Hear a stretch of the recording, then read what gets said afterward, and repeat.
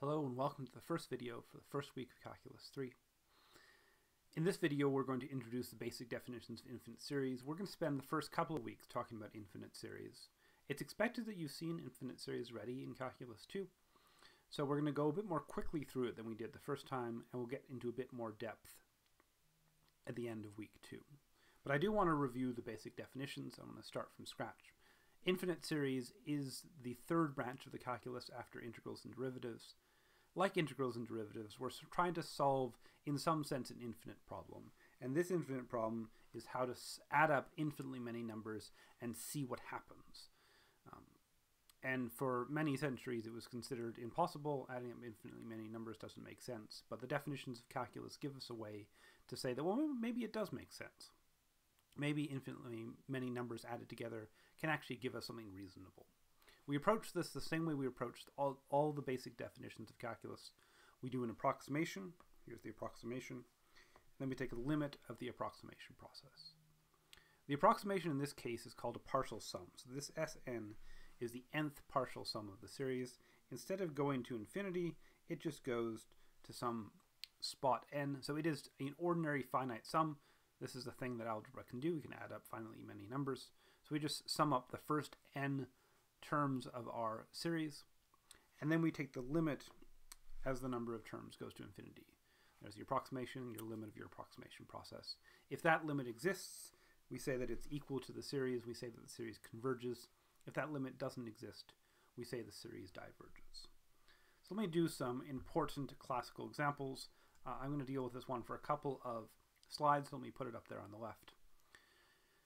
Infinite series often gets introduced in the context of Zeno's paradox, and this is an old Greek paradox that says that if you have to travel a distance, well, first you have to travel half the distance. When you've traveled half the distance, you have half left. But you have to travel half of the remaining distance, and then you have to travel half the remaining distance, and then you have to travel half the remaining distance. And you have infinitely many of these halves. So any kind of travel involves infinitely many things. Doing infinitely many things is impossible. So therefore, why, why can we actually move? Movement should be impossible. And so what we have here is we have a half, half of what's left is a quarter, half of what's left is an eighth, half of what's left is a sixteenth. So we're adding up fractions where the denominator is a power of 2. So that gives us this sum, n equals 1 to infinity, 1 over 2 to the n. We get all these denominators to powers of 2. And I want to look at the partial sums and see if I can take the limit of a, the partial sums to argue that this does in fact converge to 1. This whole distance should be 1 because movement is in fact possible. First partial sum is just the first term is 1 half. Second partial sum, 1 half plus a quarter is 3 quarters. Third partial sum, we have the 3 quarters. Our next term is 1 eighth. 3 quarters plus an eighth is 7 eighths. Fourth partial sum, the first three terms gave us 7 eighths. Then we add a sixteenth, so we get 15 sixteenths. So that's as far as this point. Uh, the next partial sum, we add a 32nd, we get 31 over 32. And we can intuit, or if we want to be more formal, prove that there's actually a pattern in partial sums here. That each partial sum, um, Sn, has 2 to the end of the denominator. S5 has 2 to the 5, which is 32 in the denominator. And its numerator is going to be exactly 1 less than this. And all the partial sums will, in fact, have this pattern. So once we have a pattern for partial sums, we can take the limit this is an asymptotic analysis limit. The minus 1 has no bearing asymptotically. We have 2 to the n and 2 to the n, so the limit should be 1. And we have, in fact, proved within the confines of the assumptions of calculus a solution to Zeno's paradox. That adding up all these halves is, in fact, a thing we can do, and what we get out of all of it is the finite number 1. It's not an infinite thing, it's a finite thing. So even though there are infinitely many little halves, they all add up to the finite number 1.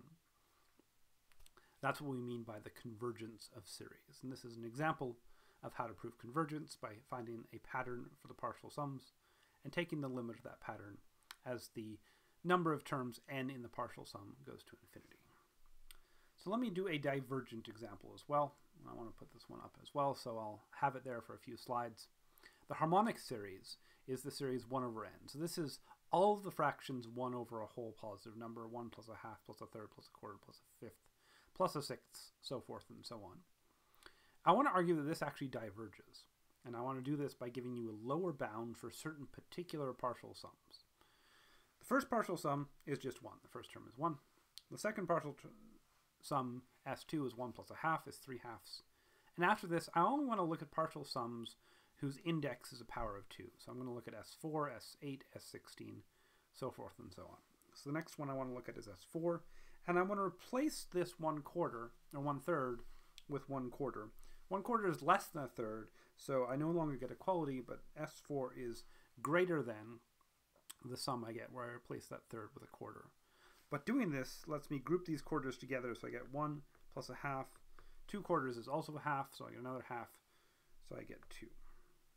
And I can keep doing this with powers of 2.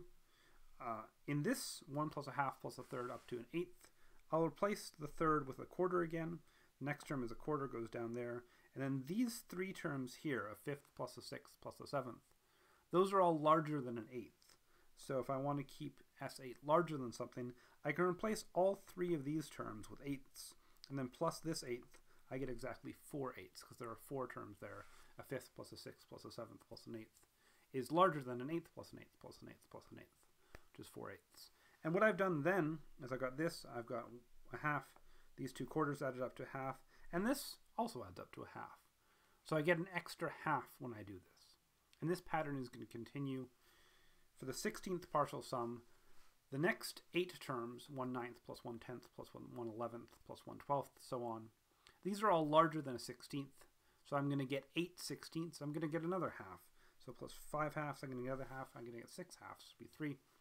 The next power of 2, I'll get another half, so this is larger than 7 halves. The next power of 2, I'll get another half, this is larger than 8 halves. And I see that if I have an even power of 2, I get that it's larger than the next whole number. So that's the pattern I want to make, is that if I have an even power of 2, s to the 2k minus 2, this is in fact larger than the number k. And this is true for all k greater or equal to. So this says that certain partial sums are at least as large as the numbers k, but this is true for all k.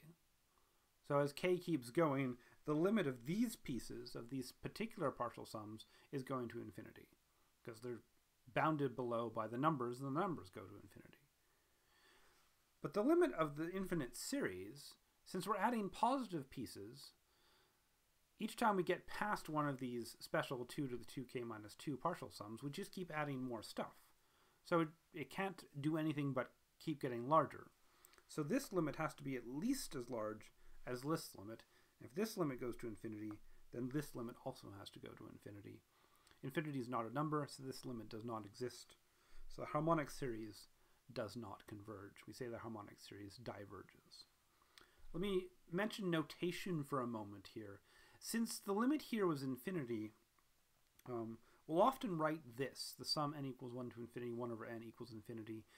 This is still divergent. Infinity is not a number. This is a shorthand for saying that this sum gets larger and larger without bound, gets larger than any finite number. We, we will write equals infinity as a shorthand for divergence. And often, particularly if the terms an are all positive, less than infinity turns into a shorthand for convergent. Again, this is not an actual comparison with a number because infinity is not a number.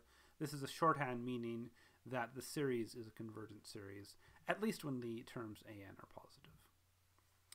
The harmonic series also gives us one more thing to think about. The harmonic series has terms um, that go to zero. So the limit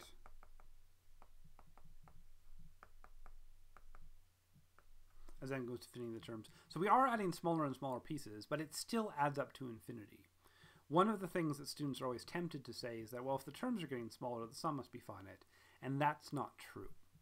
However, the opposite is true, and this is called the test for divergence. And this, this is quite a useful thing to have access to, is that if I have an infinite series and the limit of the terms, an, is not zero, then I get divergence. And that sort of makes sense because if the things are not getting smaller and smaller, then I'm adding up things that are significantly large, and I'm adding up infinitely many of them. There's no way that can converge. So this is this is one of the most useful things to know about series. We're going to get into a bunch of divergence tests later, but this is sort of the first and most basic one.